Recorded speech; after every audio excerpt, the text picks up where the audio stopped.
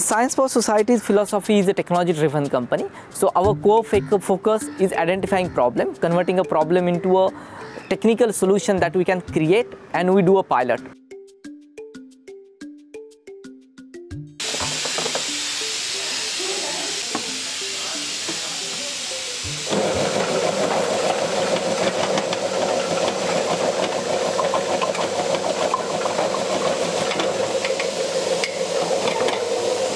So the in traditional process, the drying time is 25 days to 30 days, 30, okay? But in Haldi Tech, it is completely reduced to 12 to 15 hours. So there's basically two major things that you're doing to dry this faster. Yeah. One, you're slicing it to increase the surface area. Exactly. And two, you're using convective drying. Exactly. In traditional processes, the curcumin content is approximately 2.5 to 3 percent.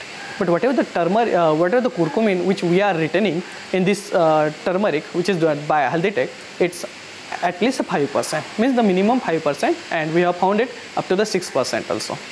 And the third thing is the important thing is the labor cost. So in the traditional process, for 10 ton of the fresh turmeric, they need $600. Whereas in Haldi it requires a $300 for 10 ton of fresh turmeric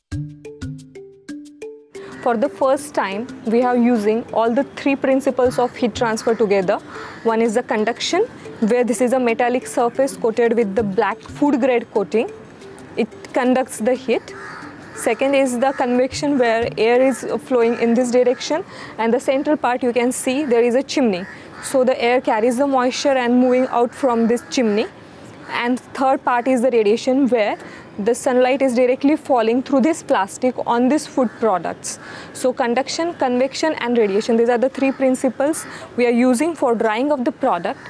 So the drying efficiency is 50% more compared to other modes of drying. And it works totally on the solar thermal principle. So there are no solar photovoltaic panels are there, no moving components, no electric components. So the operating cost is literally zero for this machine this machine works without any electricity and, um, uh, and the payback period in terms of pushing this technology into the market is, can be one of the most uh, uh, sustainable one and uh, it will add value to the farm products to such an extent that the issues like poverty and hunger can be addressed using this technology. This episode brought to you by the U.S. Global Development Lab at USAID, applying science, technology, innovation, and partnership to ending extreme poverty.